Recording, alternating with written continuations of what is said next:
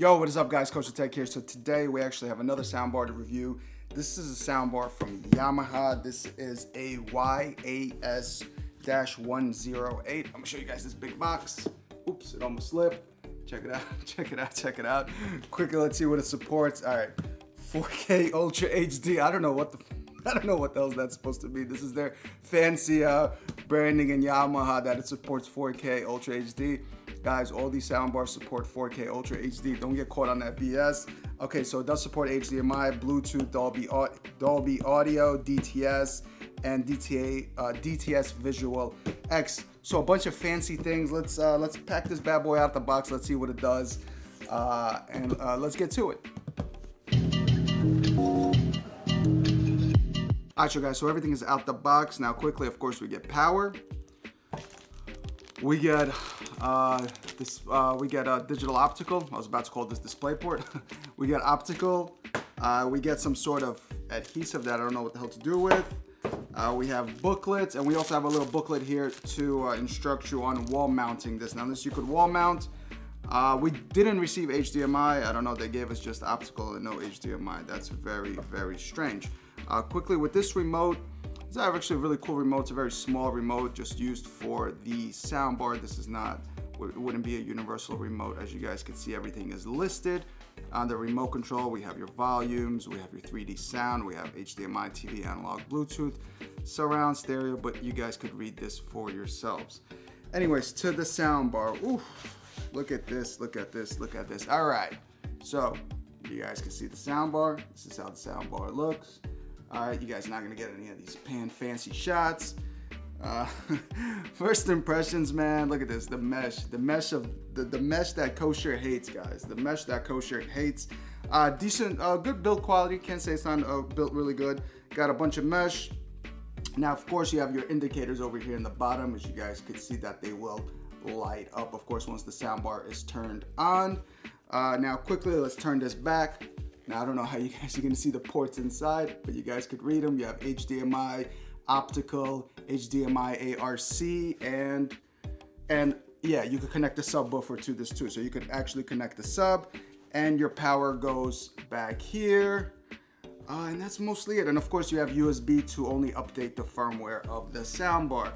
Uh, and then you have two ports over here on the side where the woofer blows out air and then you have one more here and that's basically it. Now this I would say also is a compact, uh, maybe say it's a compact, it's not standard size. It's also a, maybe a compact soundbar, but uh, let's turn on the music. Let's see how it sounds. And of course, then let's connect it to the TV and see what it sounds to. All right, let's go. All right, so guys, so everything is connected. I'm about to turn up the music. I was just demoing it and I gotta be 100% clear with you guys, honest. thing sounds great, man. This thing sounds absolutely amazing for $200. Now, I don't know if I mentioned this in the start of the video, but this thing's only $200, guys, and it absolutely actually blew my mind for music. Now, quickly, these uh, these little, uh, they're not buttons, but little indicators over here, they are touch-based, so you could touch them and they're gonna increase and decrease and switch to uh, different sources and so on and so forth. So that's pretty cool. Everything is touched, and if you don't have the remote control, you could just quickly touch it to, to play, pause, uh, actually not to play pause, to volume up, down, mute, and switch sources and turn off and turn on the soundbar. But anyways, I am gonna play a quick demo song just for you guys to hear it. Now, I was pretty impressed. The, the bass on this thing wasn't that bad without even a sub. So quickly, let's hit that play button. Let me get my phone. Let me raise the soundbar and let's go. All these empty faces talking about problems I don't care. I can't wait till sundown cause my body's aching. I just wanna dance, I just wanna dance. Don't you wanna party? Standing in the crowd, feeling heartbeat. Everybody's carefree, everybody's carefree. Don't you wanna party? Standing in the crowd, feeling heartbeat. Don't you wanna party? Don't you wanna party?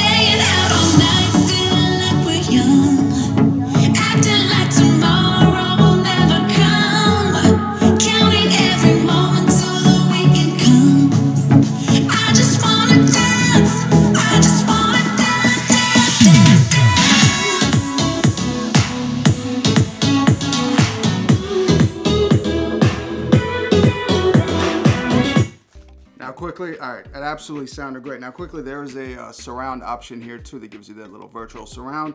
Now, the how how they have it set up, we have speakers, we have woofers on top and as well as on the bottom right over here.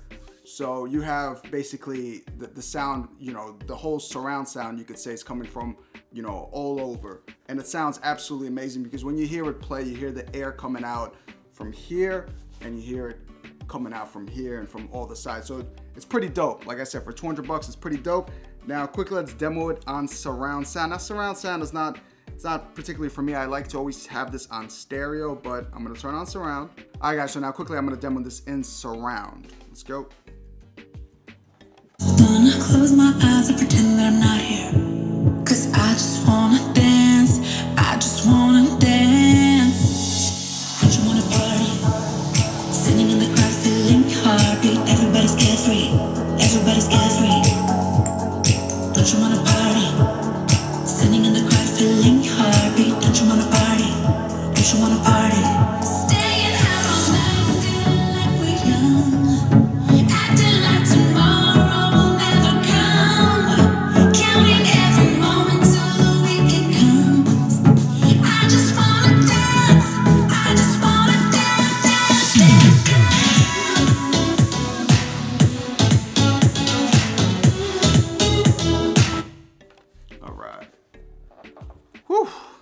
So this sounded absolutely amazing, guys. I mean, you know, as you guys know that, you know, the sound quality is not going to be the same shooting this via, you know, camera than, you know, through YouTube. I'm just giving you guys my perspective how it sounds to my ears and it absolutely sounds amazing for the price of $200.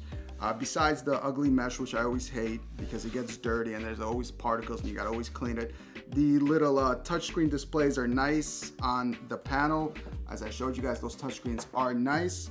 Uh, overall, it's honestly fantastic. You could use this as a soundbar and as well as for music as well. But anyways, let's connect it to the TV and let's see how it plays audio from the TV. Let's go. All right guys, so the soundbar is now installed onto the TV. Let me show you guys quickly how it looks. All right guys, so the soundbar is installed. You guys can see the soundbar is right over there. Now this is a standard size sound soundbar. Now this is a 65 inch TV as you guys can see. It actually looks really good except of course for the nasty mesh. But anyways, let's demo the sound. All right, you guys, so we are gonna demo, of course, Thor Ragnarok as the sound test. Now, I'm gonna set this up as stereo, and then I'm gonna switch it out to surround, the virtual surround that Yamaha offers. Let's go. But I, I'm happy And of course, the volume is maxed out. to see you.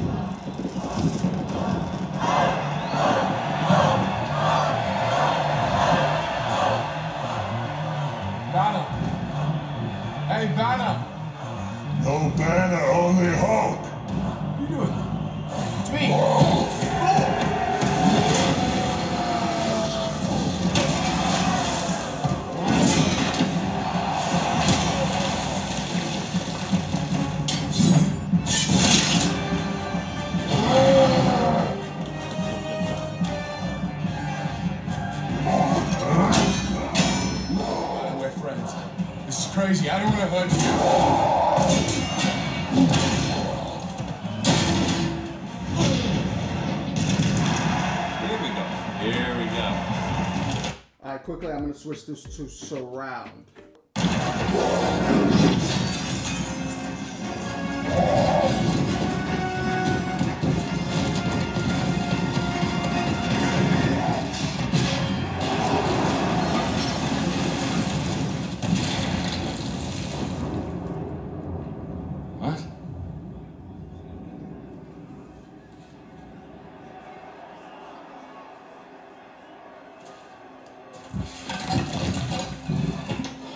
Hey, big guy. The sun's getting real low.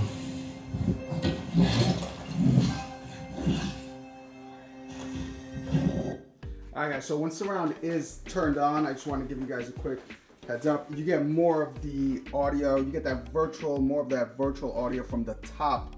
And uh, when it's stereo, you get more audio coming out here from the center of the sound bar. So yeah, that's pretty that's pretty interesting. But when surround sound is turned on, it does get you know a little too distorted in the in the loudness. But anyways, now it's conclusion time, guys. All right, guys, so we back at it now.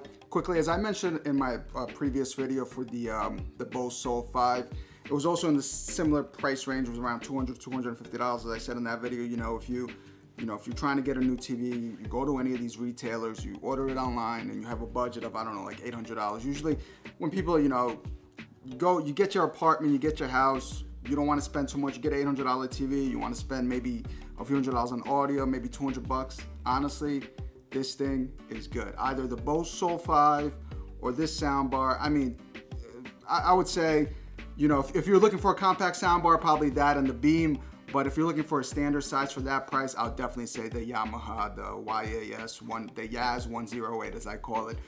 Um, the the took the takeaways that I got, honestly, fantastic sound.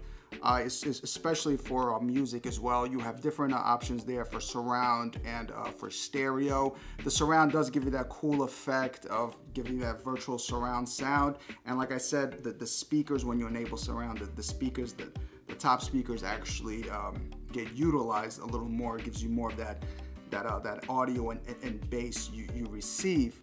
But overall, and also, you know, when it's turned up to surround, I, I just feel it gets a little too loud and gets a bit too distorted. So I, I just like to keep it on stereo and just max up the volume and it just, it sounds honestly fantastic. The dialogue was great. The bass was surprisingly, surprisingly really good with uh, with this soundbar. I mean, it's $200. You know, you guys are basically in a budget buying the soundbar. Of course, there's, you know, Playbar, the bass. You could get the uh, the Bose uh, SoundTouch. What is it like? Um, the 30 or whatever the hell it's called. But anyways, you can get other options. You know, much more features. And uh, speaking of features, it does support uh, Dolby, uh, Dolby um, uh, Dolby DTS, and I already forgot, but as I mentioned in the beginning of the video, it does support all those other features. Uh, overall, fantastic soundbar, good quality build. The only problem is I had with that mesh, and uh, the touch, the touch controls are pretty cool, pretty neat. I get 200 bucks, man. What do you want me to say? You know, I, I can't fault it for you know it's $200. If this was $700 or $800, then it would have been a different story, guys. But for 200 bucks, you get on Amazon, you get it in whichever retailer you want them, have all the links below. But fantastic quality, TV quality, music quality, you know, no complaints for the price and with all the features that you guys basically get. But let me know in the comments below, guys, what you think. You know, the link is going to be below for the um, for this soundbar, guys. And of course, you could also add an external sub, which is even more insane. So you can have more of that bass. Uh, but that's that, guys. I'm KosherTech, and I'm gonna catch you guys next time. Deuces.